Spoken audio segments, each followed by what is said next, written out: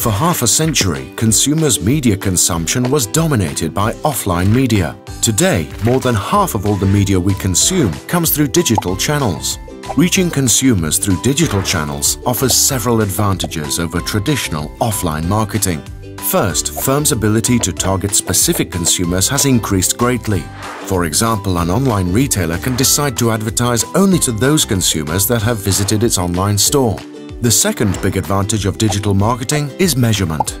Online, it's possible to track individual consumers across time and even across devices. With measurement comes the ability to optimize. Testing two different advertising campaigns, so-called A-B testing, is easy in digital marketing, yet many firms struggle to embrace it. Why? One inhibitor for digital marketing acceptance is novelty. Digital marketing instruments are still in the flux and come and go quickly.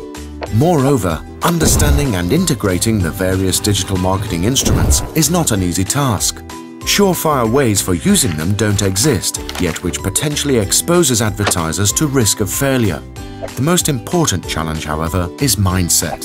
For 50 years, marketing executives based their decisions on intuition, experience and gut feelings. Today, marketing executives need analytical skills, at least as much as they need intuition, for a successful digital marketing campaign.